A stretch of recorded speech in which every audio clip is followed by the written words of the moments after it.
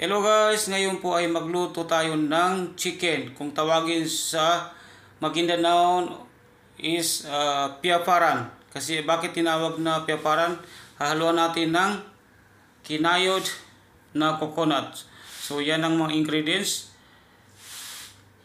At meron din tayong onion leaves, tanglad, luya, bell pepper red, isang tomato, isang onion, and dalawang piraso ng chili. So guys, tara magluto tayo ng kung tawagin sa aming salita is piaparan or chicken na ihaluan natin ng kinayod na niyog. Guys, umpisaan na natin ang pag na paghalo-haloy na natin ang ating lulutuin. So ilagay natin sa malinis na lalagyan. So isunod natin ng coconut.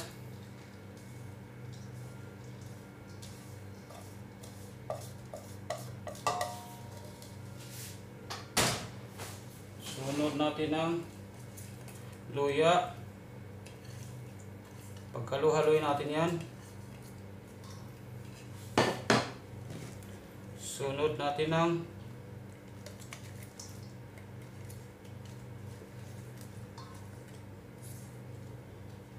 isa-isa na natin. Tapos, imamas. So guys, ang aking kamay ay malinis sa hinugasan ko po yan. Kaya kinakamay ko na lang po siya.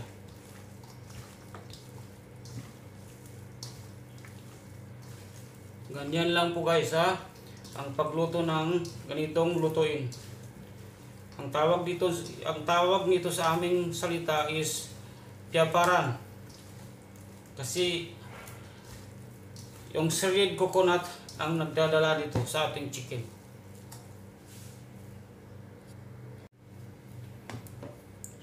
So guys, lagyan natin siya ng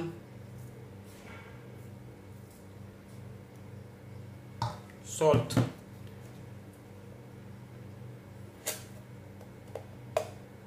Ajinomoto. Black pepper powder.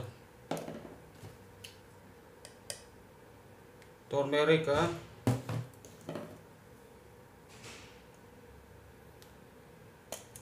Red chili powder. Imamas natin ulit guys. Mamas. Mas lang imamas natin.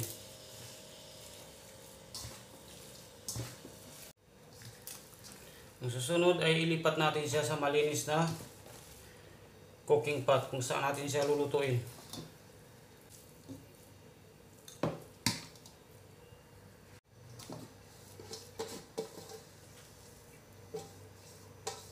So already with transparent na. So ayan na guys. Lagyan natin ng dalawa o tatlong baso ng tubig para iluluto na natin. Actually guys, pwede natin lagyan ito ng gata ng nyog. Pero sa akin, ang ginawa ko, hindi ko na po siya nilagyan ng gata ng nyog. Kasi yung shredded coconut is ma-oily na po yan. So ayaw ko ng sobrang oily. So katamtaman lang ang oil lang. Gusto ko na pagkaluto nito. O tingnan niyo, oh, yung, yung sabaw pa lang niya, ma-oily na. So sa tingin ko, dagdagan pa natin ng konting tubig. Konting tubig pa. Push pa more. So yan na guys. Magdagdag tayo ng konting tubig. So time to cook na guys. So ang ating onion leaves pati bell pepper red is sa uli na natin ilagay kasi mabilis, mabilis lang tumaluto.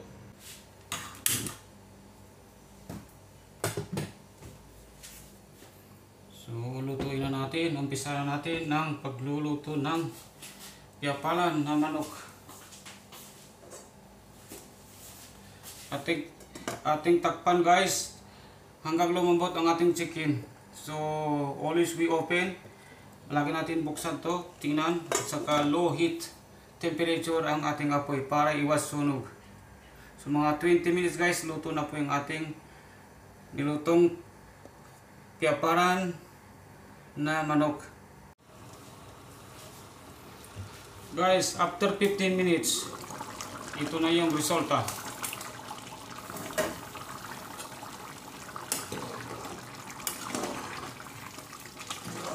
Lumabas na yung amoy, yung lasa, yung oily ng ating niluto. So, yan na guys. Napakasarap nito. So, yan na. So, it's a very tasty. So, lutuin pa natin ang lutuin hanggang medyo bumaba yung sabaw. Takpan natin ulit.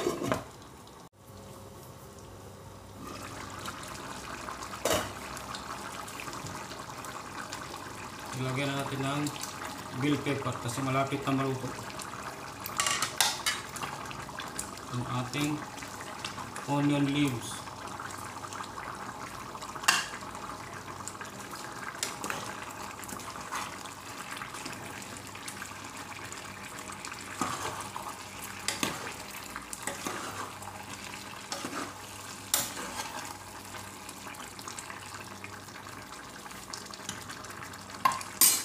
Takpan natin within 2 minutes. Luto na yan. Finally guys, luto ang ating nilutong piapalan ng niyog. So, pwede na. Kaya natin iserve ito sa ating pamilya. So, ayan na guys.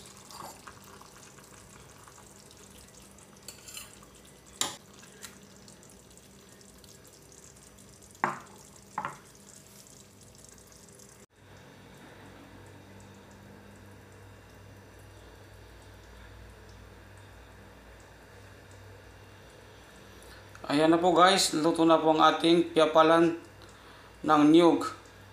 Chicken na piapalan ng niyog. So napakasarap nito guys na ihanda o lutuin sa ating pamilya o sa ating bisita. So I'm sure na magugustuhan nila ng ganitong lasang luto. So Maguindanaon version ng pagkaluto. So, mas masarap to guys. Yung ating niyog is bagong sungkit. So, new harvest na coconut, shredded coconut. And then, uh, it's much better na we mix together with this chicken. So, thank you so much guys.